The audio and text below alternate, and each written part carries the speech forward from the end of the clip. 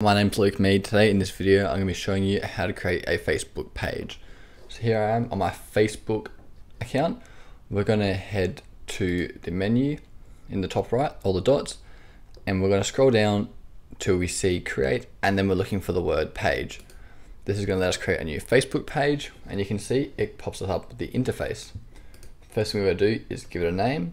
Let's call it Luke Mead and you can see as we type it in, the preview we get is just on the right. We need to give it a couple of categories. I'm going to call myself a comedian, just for the sake of it. You can have up to three, so you could have also a market agency as well in there. And you can see that it shows your first category here on the preview. If we want, we can switch the preview to mobile as well to have a look at. And then we can add a description. For example, we can say, Luke is a comedian. Note there is a character limit on this and we can hit create page and then we can start filling out the more advanced name. Let's add a quick another word. There we go. Facebook didn't let me create a page using that name. So I just add another word to it, Luke Mead Marketing, to create another page. Here we go. The page is being created. Now I can start setting up your page. So I'm going to add a profile picture if we want, and I can do that by uploading whatever I see fit. In this case, I'll upload a thumbnail here, and you'll notice that the, image for your profile picture is square, is round. So Facebook will take a small portion of your image to show. We can add a cover photo if we'd like as well. Let's just quickly select a different photo, for example in this case, you do want to use real photos that are better representation of you.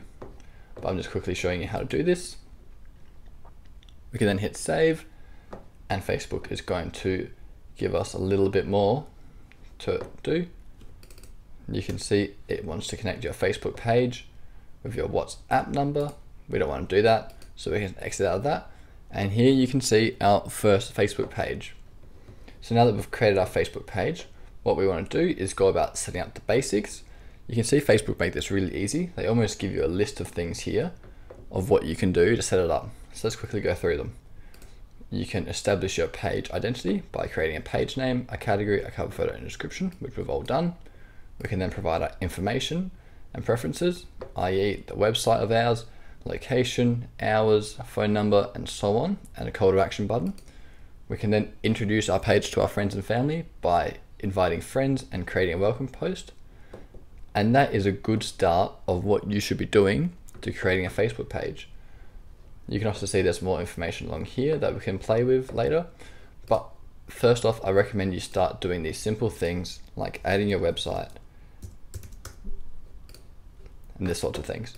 Because this is basically how you set up your page. And you can see that Facebook removes it once it's done. So this is a really good checklist you can use for creating a Facebook page. Now guys, if you want to learn how to create Facebook ads, I've got a video below that's perfect for beginners that are looking to create Facebook ads. I recommend you give it a watch because it's really good. It's 12 minutes long, it's super fast, and teaches all you need to know about creating Facebook ads. Thanks guys for watching. Keep well. I'll speak to you next time. Ciao, ciao.